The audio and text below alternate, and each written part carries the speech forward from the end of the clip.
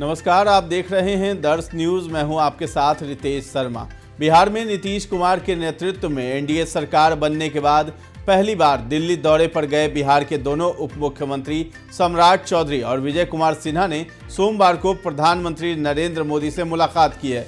संसद भवन परिसर में पीएम मोदी के साथ सम्राट चौधरी और विजय सिन्हा की मुलाकात हुई है।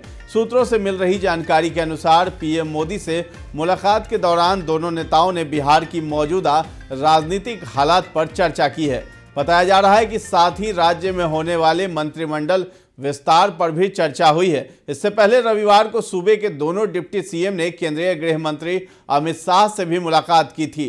राज्य के डिप्टी सीएम सम्राट चौधरी ने सोशल मीडिया मंच एक्स पर खुद पीएम मोदी के साथ हुई मुलाकात की फ़ोटो शेयर की है। सम्राट चौधरी की ओर से पोस्ट में लिखा गया है कि देश के यशस्वी प्रधानमंत्री नरेंद्र मोदी से मुलाकात कर उनका आशीर्वाद एवं मार्गदर्शन प्राप्त किया। राष्ट्र की उन्नति को समर्पित आपकी विचारधारा एवं अखंड भारत के संकल्प ने माँ भारती का जो गौरव बढ़ाया है, वो सदैव अछुन्न रहे। नरेंद्र मोदी को बिहार की जनता बहुत प्यार करती है और प्रधानमंत्री जी भी बिहार की जनता को उतना ही स्नेह करते हैं। प्रधानमंत्री मोदी बिहार के सर्वांगीण विकास को लेकर कृत संकल्पित हैं। सूत्रों से मिली जानकारी के अनुसार दोनों नेताओं के दिल्ली दौरे के पीछे राज्य मंत्रिमंडल के विस्तार के पेज को सुलझाना है। दरअसल 12 फरवरी को एनडीए सरकार को विश्वास मत हासिल करना है। उसके एक दो दिन बाद ही मंत्रिमंडल विस्तार होने की संभावना है। भाजपा कोटे से अभी तीन ही मंत्री सरकार में शामिल हुए हैं। कम से कम एक दर्जन और सरकार में शामिल होंगे।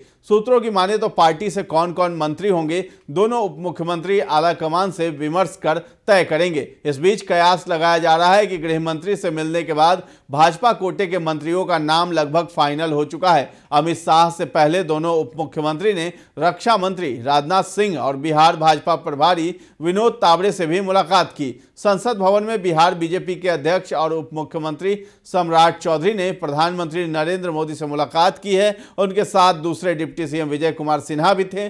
तीनों नेताओं के बीच काफ़ी देर तक बातचीत हुई। हालाँकि इसे शिष्टाचार भेंट बताया जा रहा है, लेकिन मुख्यमंत्री नीतीश कुमार के फ्लोर टेस्ट और मंत्रिमंडल विस्तार से पहले हुई इस मुलाकात को बेहद अहम माना जा रहा है। आपको बता दें कि 28 जनवरी को नीतीश कुमार ने बीजेपी और हम के साथ मिलकर नई सरकार बनाई है। सीएम के अलावे आठ मंत्रियों ने शपथ ली है, जिनमें बीजेपी से तीन, जेडीयू से तीन हम के एक और एक निर्दलीय विधायक मंत्री बने हैं।